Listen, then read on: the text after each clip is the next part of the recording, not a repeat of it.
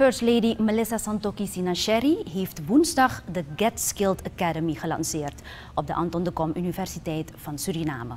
De Academy is een initiatief van de First Lady en is opgezet door de Nederlandse bedrijven Connect by Talent en Skillstown. Beide bedrijven hebben bij de launch van de Academy 500 vouchers met een totale waarde van 50.000 euro gedoneerd aan de First Lady. De academie zal gratis praktische trainingen geven aan werkenden en werkzoekenden van zowel de overheid als het bedrijfsleven. Tijdens de launch zei de voorzitter van het universiteitsbestuur, Erik Jacdeo, dat hij blij is met het project, omdat het inspeelt op de Surinaamse behoeften.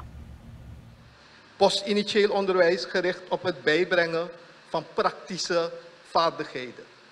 En bij die praktische vaardigheden wil ik even stilstaan, want enkele jaren terug heeft het MO in opdracht van het bestuur van de universiteit een pilot arbeidsmarktonderzoek gedaan. En uit dat onderzoek is gebleken dat onze afgestudeerden, en dan kijk ik naar meneer Power en mijn collega bestuurslid, uitgerekend onze afgestudeerden tekortkomen in die praktische vaardigheden. We zijn bij de accreditatie van de verschillende opleidingen, zijn we telkenmalen uh, weer met de realiteit geconfronteerd, namelijk dat ze de praktische competenties ontbreken. En nu proberen we met de accreditatie van die opleidingen dus die praktische vaardigheden bij te brengen in het regulier initieel onderwijs. De First Lady, die zelf een product, product, is van de Anton de Kom Universiteit, is blij dat ze iets terug kan doen voor het Wetenschappelijk Instituut. Ze brengt ter herinnering dat ze reeds vanaf dag 1 voorstander is van ontwikkeling in haar land. Als First Lady heb ik vanaf dag 1 gezegd dat ik voor ontwikkeling sta. En dat kan alleen als de overheid investeert in de kwaliteit van educatie. En ik ben daarbij bereid mijn steentje bij te dragen.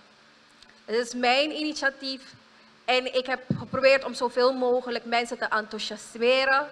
En ik ben blij dat ik binnen de korte tijd, want we zijn er niet lang, juli, eind juli, um, de inauguratie geweest. Augustus, medio augustus heb ik de mensen hier kunnen krijgen. En vandaag staan we hier.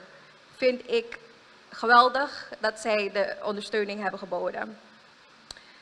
Bij ontwikkeling zijn er meerdere partijen betrokken. En jij blijft degene die de lat legt voor jezelf, waar je wil zijn.